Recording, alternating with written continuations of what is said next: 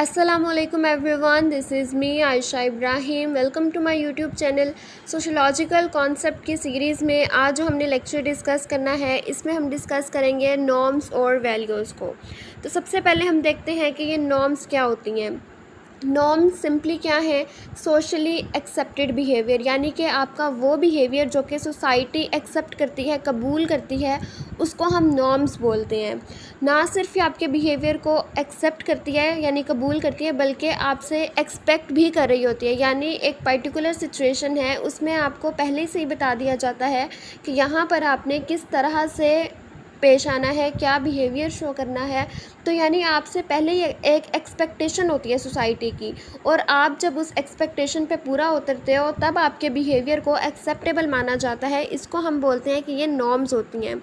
ये unwritten rules होते हैं बिहेवियर के। ये वो रूल्स होते हैं वो रेगुलेशंस होती हैं वो एक्सपेक्टेशंस होती हैं जो हमें बताती हैं कि हमने किसी भी सोशल सिचुएशन में किस तरह से बिहेव करना है, है कैसे रहना है। ये सब चीज़ें जो हमें नॉर्म्स बताती हैं। ये बेसिक गाइडलाइंस होती हैं। और ये जो नॉर्म्स हैं, ये हमारी सोसाइटी की स्टेबिलिटी और स्ट्रक्चर को बनाने में बहुत अहम किरदार अदा करते हैं। नॉर्म्स की अगर हम एग्ज़ाम्पल्स की बात करें तो फॉर एग्ज़ाम्पल आप किसी जनाजे पर जाते हो तो वहाँ आप लोग आपसे क्या एक्सपेक्ट कर कि आपका बिहेवियर क्या होगा? गमज़दा, यानी आप सैड हो गए, आप आके ताज़ियत वगैरह कर रहे होगे तो ये लोग आपसे एक्सपेक्ट कर रहे हैं और आप वही बिहेवियर शो कर रहे हो। तो यह बिहेवियर आपका एक्सेप्टेबल माना जाएगा। अगर किसी के जनाजे पे आप लाल कपड़े पहन के जा रहे हो, जाके हंस रहे हो तो आपका यह बिहेवियर एक्सेप्टेबल नहीं माना जाएगा। आपको डेवियंट कहा जाएगा।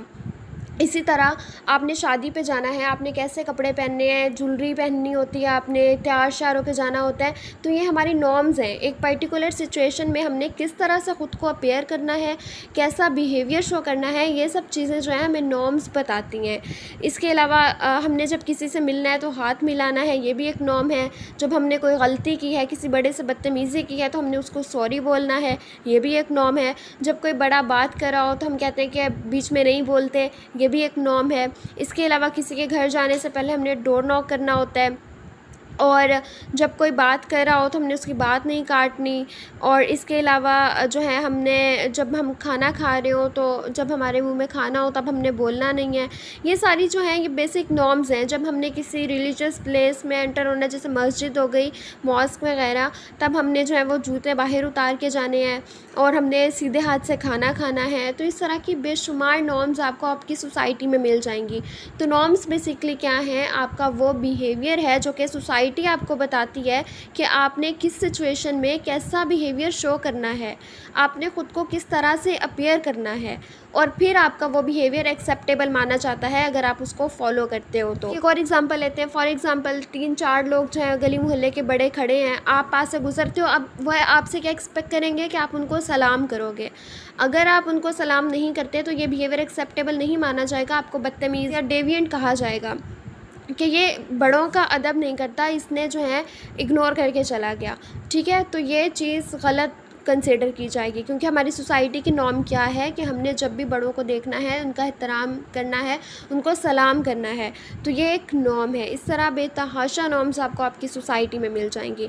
तो ये सिंपली नॉर्म्स है। एक्चुअली मैं बहुत सारी थेरीज़ में नॉर्म्स और वैल्यूज़ वगैरह का ज़िक्र कर रही होती हूँ तो कुछ स्टूडेंट्स को कन्फ्यूज़न हो रही होती है तो अपना इन चीज़ों का बेसिक सोशियोलॉजी का इन टर्म्स का कॉन्सेप्ट क्लियर करना ज़रूरी है, क्योंकि इन्हीं वर्ड्स इन्हीं टर्म्स के बेस पर हम आगे थेरीज़ वगैरह को डिस्कस कर रहे होते होते हैं और ये बहुत इंपॉर्टेंट टर्मिनोलॉजीज़ हैं जो कि इंटरव्यूज़ के साथ साथ जो है आपसे एग्ज़ाम्स वगैरह में भी पूछी जाती हैं। ओके नेक्स्ट है वैल्यूज़ वैल्यूज़ जो हैं, ये बेसिकली प्रिंसिपल्स होते हैं जो कि हमें बताते हैं कि क्या ठीक है और क्या गलत है। ये आपके पर्सनल स्टैंडर्ड्स होते हैं, जिन चीज़ों को आप प्रियोरिटी देते हो, जिन चीज़ों को आप अहम समझते हो, जो आपके लिए वैल्यूएबल होती हैं एक्चुअली वही आपकी वैल्यूज़ होती हैं। जो नॉर्म्स थी, वो सोसाइटी के लेवल पे होती हैं, जबकि जो वैल्यूज़ हैं, ये इंडिविजुअल लेवल पे होती हैं। ये हमारी पर्सनल चॉइस होती है। हम अपनी लाइक्स डिसलाइक्स पर्सपेक्टिव जजमेंट वगैरह की बेस पर जो है वैल्यूज़ को बनाते हैं। तो इससे जो है वैल्यूज़ बेसिकली हमारी एक पर्सनैलिटी को भी शेप करी होती है, हमारे एटीट्यूड को शो करी होती हैं। तो इसीलिए हम कहते हैं कि ये बेसिक फाउंडेशन है, किसी भी शख्स की पर्सनैलिटी को समझना हो बिहेवियर को अंडरस्टैंड करना हो, उसके परसेप्शन और एटीट्यूड को देखना हो तो हम उसकी वैल्यूज़ को देखते हैं। ये उसकी फाउंडेशन है वैल्यू इसके अलावा जो है वैल्यू को सिंपल वर्ड्स में हम ये कहते हैं कि इनटेंजिबल क्वालिटीज़ हैं। इनटेंजिबल वो चीज़ें होती हैं जिनको हम छू नहीं सकते, जिनको हम टच नहीं कर सकते। तो ये इनटेंजिबल क्वालिटीज़ हैं, यानी कि ऐसी क्वालिटीज़ हैं जिनको हम टच नहीं कर सकते, या ये वो बिलीफ हैं जो कि किसी भी सोसाइटी में एक्सेप्टेबल माने जाते हैं। वैल्यूज़ डिफरेंट तरह की हो सकती हैं। आपने पाँच वक्त की नमाज़ पढ़नी है, ये वैल्यू है।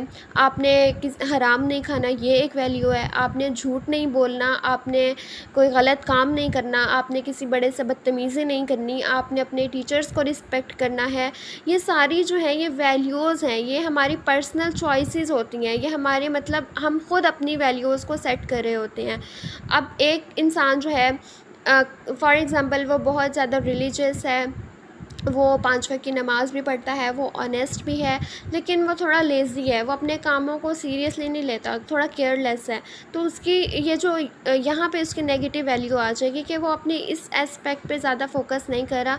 यानी वैल्यू कोई एक तरह की नहीं होती इंसान में, मुख्तलिफ़ तरह की वैल्यूज़ होती हैं। किसी में कोई वैल्यू का आंसर डोमिनेंट होगा तो किसी में कोई, ठीक है? तो ये वेरी कर होती है पर्सन टू पर्सन और जबकि जो वो होती हैं नॉर्म्स होती हैं, वो वेरी करी होती हैं सोसाइटी टू सोसाइटी जैसे हमारी सोसाइटी में पाकिस्तानी सोसाइटी में या मुस्लिम सोसाइटी में शराब पीना हराम है, शराब पीने से मना किया गया है हमें। लेकिन अमेरिका वगैरह में ट्वेंटी ईयर्स के एज के बाद आप ड्रिंक कर सकते हो। तो ये नॉर्म्स हैं जो कि सोसाइटी टू सोसाइटी वेरी कर रही होती हैं। और वैल्यूज़ क्या हैं? ये बेसिकली वो प्रिंसिपल्स हैं जो कि आपको डिसाइड करने में हेल्प करते हैं कि क्या चीज़ ठीक है, क्या गलत है, क्या अच्छा है, क्या बुरा है। ठीक है? तो इनको हम बोलते हैं वैल्यूज़ तो इनमें डिफरेंस क्या है? एक तो ये कि जो नॉर्म्स होती हैं, वो एक्चुअली होती हैं सोसाइटी के लेवल पे। और जो वैल्यूज़ होती हैं, वो इंडिविजुअल के अपने प्रेफरेंसेस होते हैं, अपनी प्योरिटीज़ होती हैं, वो किस चीज़ को वैल्यू देता है, उसके नज़दीक क्या चीज़ अहम है। और इसके अलावा ये हॉस्पिटलिटी यानी कि हमने मेहमान नवाज़ होना है, ये हमारी एक वैल्यू है, जैसा कहते हैं कि पंजाब के लोग जो वो बहुत मेहमान नवाज़ होते हैं तो ये उनकी एक वैल्यू है कि वो मेहमान नवाज़ हैं। ऑनेस्टी एक वैल्यू है करेज एक वैल्यू है इंटीग्रेशन यानी कि इतिहाद एक वैल्यू है तो ये कुछ वैल्यू के एग्ज़ाम्पल्स थे। तो आई होप आज का ये लेक्चर आप लोगों को क्लियर हो गया होगा, आप लोगों को पता चल गया होगा कि एक्चुअली नॉर्म्स क्या हैं वैल्यूज़ क्या हैं। नॉर्म्स आपका वो बिहेवियर है जो सोसाइटी आपसे एक्सपेक्ट भी करती है और आपका वो बिहेवियर जब आप उस पर पूरा उतरते हो तो उसको एक्सेप्टेबल माना जाता है। यानी आपको सोसाइटी बता रही होती है, आपने किसी पर्टिकुलर सिचुएशन जैसे कि शादी हो गई, किसी की डेथ हो गई किसी के हाँ बच्चा पैदा हुआ, किसी की बर्थडे हो गई तो आपने उन स्पेशल या ओकेजन्स पे या उस पर्टिकुलर सिचुएशन में किस तरह से ख़ुद को अपेयर करना है, कैसा बिहेवियर शो करना है, ये सब चीज़ें नॉर्म्स में आ जाती हैं। जबकि जो वैल्यूज़ हैं, ये इंटेंजिबल क्वालिटीज़ होती हैं और ये पर्सन टू पर्सन वेरी करती हैं, ये इंडिविजुअल की अपनी चॉइस होती है जो कि उसको बताने में मदद करती है कि क्या चीज़ ठीक है, क्या चीज़ गलत है, क्या उसके लिए अच्छा है, क्या बुरा है। तो ये था आज का लेक्चर होप आज का लेक्चर आप लोगों के लिए हेल्पफुल रहा होगा। So don't forget to subscribe my channel do like comment and share this video thank you so much